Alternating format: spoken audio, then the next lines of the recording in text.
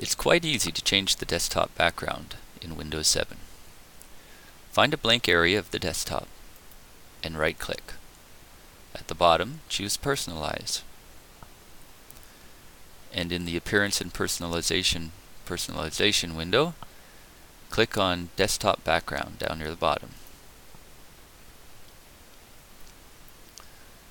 Now by default you'll be in the Windows Desktop Backgrounds uh, picture location within which you can choose different scenes, nature shots, landscapes, characters, and in my case Canadian content, as well as some architecture.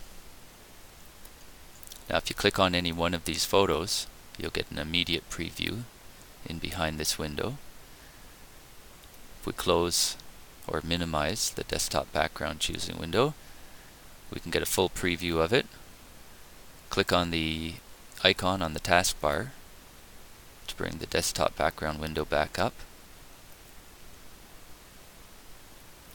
And make other selections if you like. You want to test and see what looks nice. Under picture location, you can also choose solid colors, for example.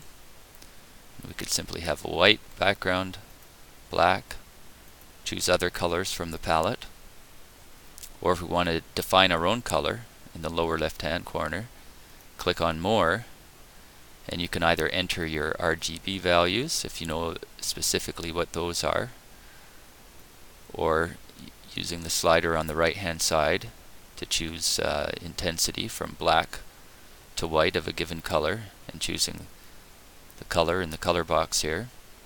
We can get different variations. Your preview is right here you can get greens blues, you know, millions of colors in combination between the two items. Click OK and you'll have the new color.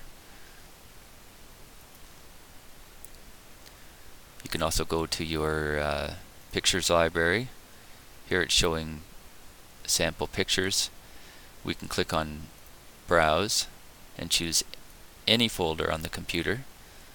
If you click on computer and your system drive, in my case drive C, users, my uh, username is owner. To get your username, click on your start button. It'll be the name right under the top right hand corner icon. So we know that this account's name is owner. Expand owner. And then if you have uh, pictures in your My Pictures folder, you can click on that.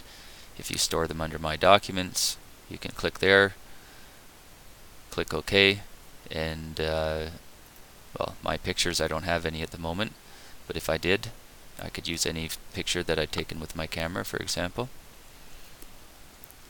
But we'll uh, save these changes, stick to the lighthouse for now, and that's how you change your Windows 7 desktop background.